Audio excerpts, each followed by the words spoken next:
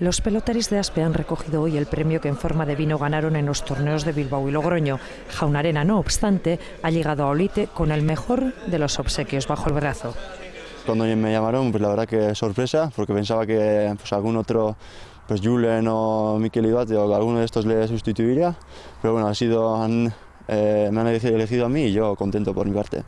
En el 2012 se convirtió en el primer pelotari en ganar las tres chapelas de segunda. Este año el delantero Litzarra comienza con buen pie. El viernes debuta en el campeonato de parejas de primera.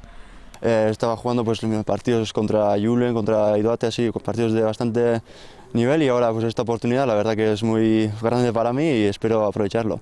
Suplir a Sala nunca es fácil, aunque a Jaunarena no le faltará ayuda. Barriola, padrino en su debut como profesional, botillero y amigo, cubrirá sus espaldas. Una pareja de Leitza con mucha química.